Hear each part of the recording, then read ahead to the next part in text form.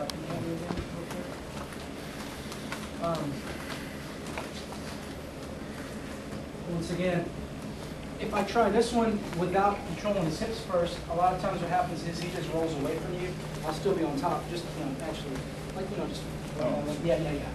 So it's okay, I'm still on top of him, but like I said, I'm never use these submissions from back control, so what I do first is I mobilize his hips here. Right here, one of the things that happens, like we talked about, is his arms and, and uh, head open up a little. So a lot of times from here, I have the opportunity to reach in and get a wrist, okay? So from this position, what I'm gonna do is I'm gonna post my foot right next to his knee and elbow, where he's standing real tight right here. I'm gonna take a shortcut to get an arm lock. This back leg is gonna swing over, and I'm actually gonna post my foot right next to his head and sit down on his shoulder. I just grab my hands together and drive with my legs. Fall straight back into a simple arm lock.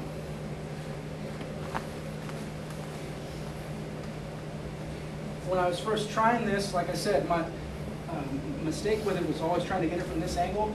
And sometimes he'll, he'll, you know, feel in trouble and just fall to his side. If you can immobilize here first, it really makes it a lot more efficient. Reach in. Now I've got wrist control. Simply put my foot right next to his uh, knee and elbow. This hand can come out. I'm going to eventually need to grab palm to palm. I can post on his back if I need to to keep some stability. When I come here, I actually put both feet like right on the ground. Go palm to palm and I just start driving with my legs. Taking a over right here. Very strong arm bar.